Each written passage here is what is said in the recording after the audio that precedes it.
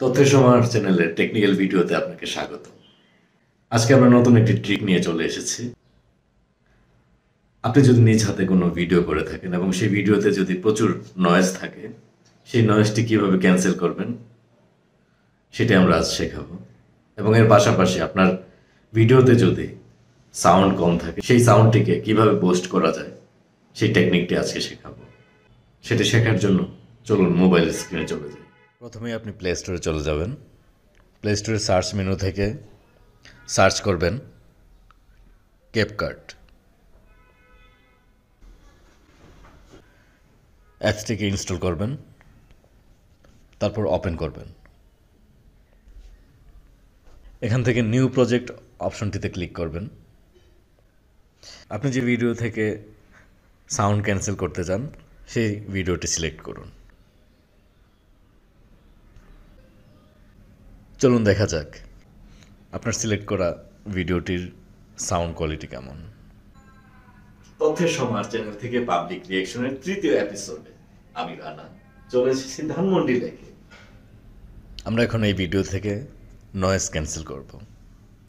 আমাদেরকে প্রথমেই যেতে হবে। রিডিউস নয়েজ অপশনটি সিলেক্ট করতে হবে। এটাকে অ্যানাবল করে দিতে হবে। অ্যানাবল করার পর এটিকে ওকে করে দিতে হবে। নয়েজ ক্যান্সেল হওয়ার পর দেখা যাক কী রেজাল্ট পাওয়া যায়।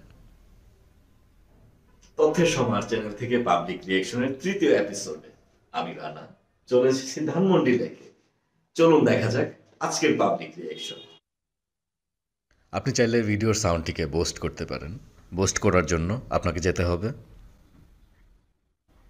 ভলিউম অপশনটি ক্লিক করতে হবে। এখান থেকে আপনার ভিডিও থেকে সাউন্ডকে বোস্ট করার জন্য ভলিউমটি আপ করতে পারেন।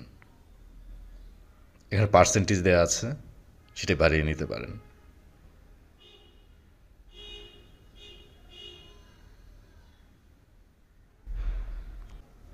সাউন্ড কতটুকু বোস্ট হয়েছে সেটা জানার জন্য আপনি প্লে করে দেখতে পারেন।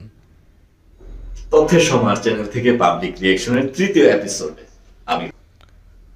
সাউন্ড পোস্ট হওয়ার পর ওকে করে দিন। এরকম আরও ভিডিও পেতে চ্যানেলটিকে সাবস্ক্রাইব করুন এবং পাশের বেল আইকনটিতে ক্লিক করুন। পুরো ভিডিওতে সাথে থাকার জন্য আপনাকে অসংখ্য ধন্যবাদ।